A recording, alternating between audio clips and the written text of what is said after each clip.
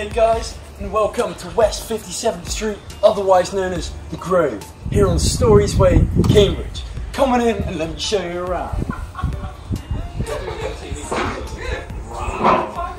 Here we've got the social space.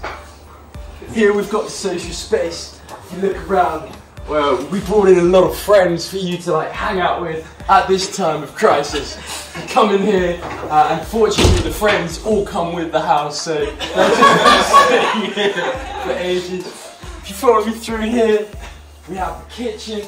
This is where you can cook up your pizza, your pasta. Uh, we've got a lovely dishwasher as well because we want to make sure everything's clean so you don't get coronavirus.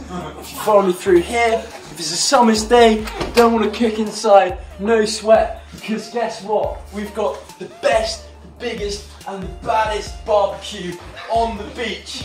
Well, not really a beach, but close enough. We've got this bad boy, the big BBQ 1000 Triple XZ.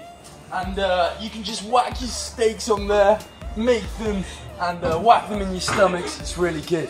We also have these lovely French sliding doors, so you can get the best of, of indoor-outdoor living. In the winter, what you're gonna wanna do is close the doors like this.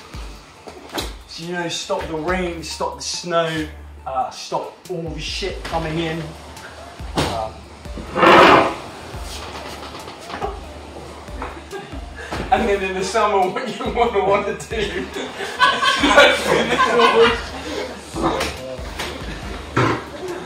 So you can get the best of this beautiful space. It's just indoor outdoor living at its finest.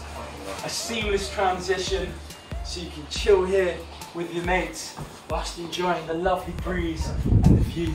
And then if you come outside with me here, we can enjoy this wonderful view of your front garden. Now, all on the market for a small asking price of 3.5 trillion pounds.